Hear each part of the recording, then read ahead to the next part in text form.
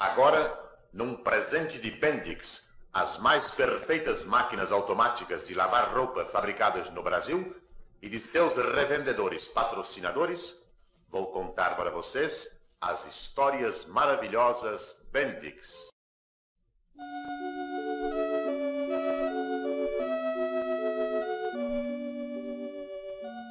Nossa história começa numa noite de abril. Uma noite perfumada e quente. Solene e majestoso erguia-se o Palácio Real. Em redor do palácio, o imenso bosque se escondia nas trevas. Muito amoroso, o rei chamou seu filho Pedro. Pedro? Pedro? Sim, papai.